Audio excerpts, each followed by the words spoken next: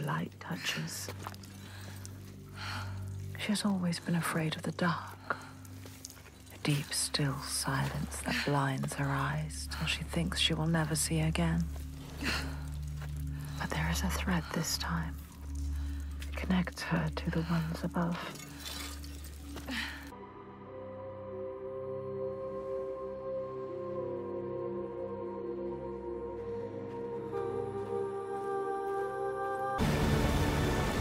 She has been chosen.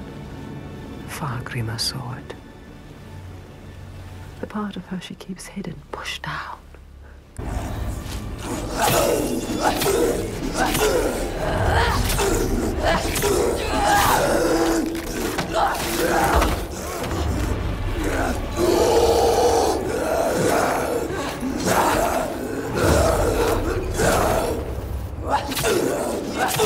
That's